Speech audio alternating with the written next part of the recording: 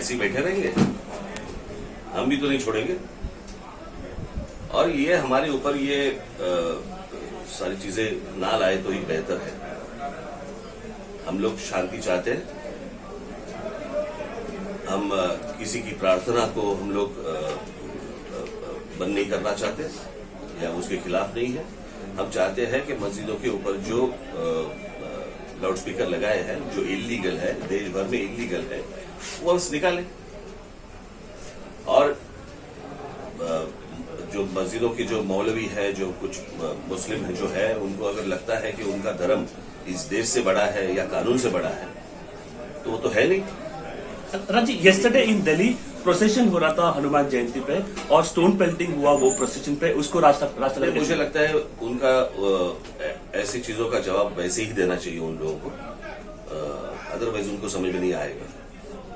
Sir आपने जिस तरह से आज बात रखी कई देश भर के हिंदुओं से एक रिक्वेस्ट की है क्या आप मैंने इस देश के अ, सारे जो देशभक्त हिंदू जो है उनको अ, उनको सिर्फ़ मेरा यही कहना है कि तीन मई तक हम लोग रुके और तीन मई के बाद देश भर की हर एक मस्जिद जो लाउड स्पीकर नहीं निकालेंगे हर मस्जिद के बाहर हनुमान चालीसा लगाए।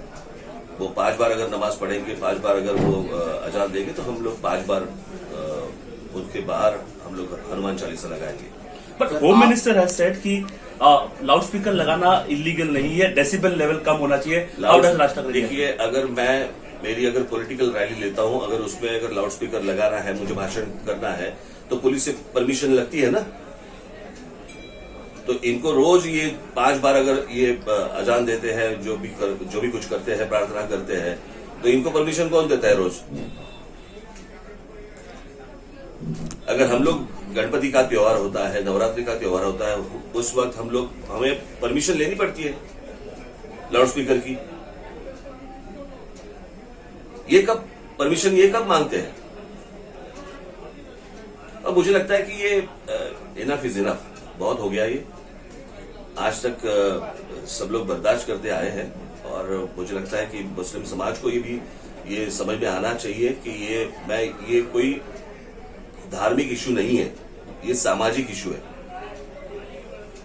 इसमें ना मस्जिदों की कोई बात आती है, ना उनकी प्रार्थना की कोई बात आती है, ना और कुछ आता है। बात है सिर्फ़ लाउड स्पीकर की और मुझे लगता है लाउड स्पीकर की कोई ज़रूरत नहीं है।